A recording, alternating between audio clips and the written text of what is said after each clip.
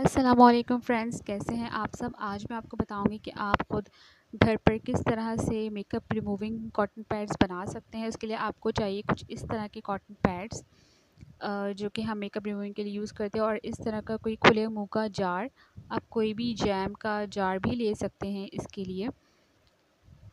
उसकी लिड जो है इस तरह की होनी चाहिए ताकि वो सिक्योर है एक कप आपको लेना होगा पानी जो मिनरल वाटर होता है वो आप लें तो ज़्यादा अच्छा होगा। उसके बाद हम लेंगे बेबी शैम्पू मेक श्योर कि आप कोई भी शैम्पू ना यूज़ करें बेबी शैम्पू यूज़ करें, क्योंकि बेबी शैम्पू जो होते हैं वो टीयर फ्री होते हैं तो वो आपकी आँखों पे नुकसानदेह नहीं होते। इसके अलावा हम लेंगे कोकोनट ऑयल कोकोनट ऑयल ले सकते हैं या आलमंड ऑयल भी ले सकते हैं ऑलिव ऑयल जो आप पे सूट करता है, जो आपको पसंद हो, आप वो वाला ऑयल ले सकते हैं। इस तरह के कॉटन पैड्स लेंगे हम और इसके अलावा हम जो बेबी वाइप्स होते हैं वो भी ले सकते हैं। उनको भी as a makeup remover use कर सकते हैं।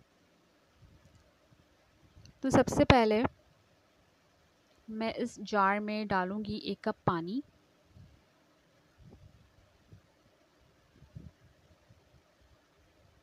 और इसमें मैंने डालना है ये कोकोनट ऑयल ये जो टेप टी स्पून है, ये टू टी स्पून मैंने कोकोनट ऑयल के इस पानी में डालने हैं और ये टू टेबल स्पून शैम्पू के डालने हैं।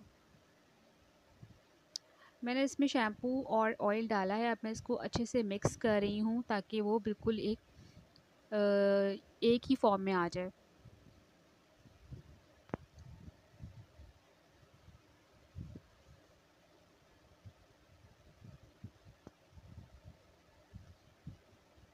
उसके बाद ये आपने कॉटन पैड्स लेने और आपको उसके अंदर इस तरह से डाल देने। आपको बहुत ज़्यादा प्रेशर से इसको नहीं डालना, नहीं तो सारे अंदर चिपक जाएँगे। इस तरह से आप जितने चाहे आप डाल सकते हैं, जितने भी, जितना भी आपका लिक्विड है, वो उसको अच्छी तरह से सोक कर लें।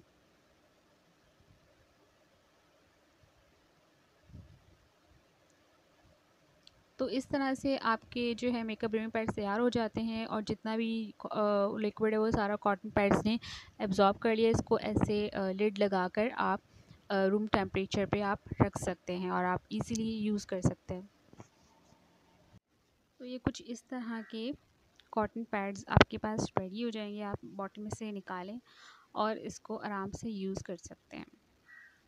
मैंने ये बॉटल में से निकाला है कॉटन पैड और इस अपने जो लिक्विड लिपस्टिक मैंने लगाई थी, उसके ऊपर मैंने इसको थोड़ी देर ऐसे रखा और उसके बाद हल्का हल्का सा मैंने इसको इस तरह से मैंने इसको साफ़ किया तो ये बहुत ही इजीली आराम से ये लिक्विड लिपस्टिक उतर गई। और किसी भी किस्म की कोई इरिटेशन नहीं हुई। तो ये इसका रिज़ल्ट है। आई होप आपकी मेरी वीडियो अच्छी लगी होगी। थैंक यू फॉर वॉचिंग अल्लाह हाफ़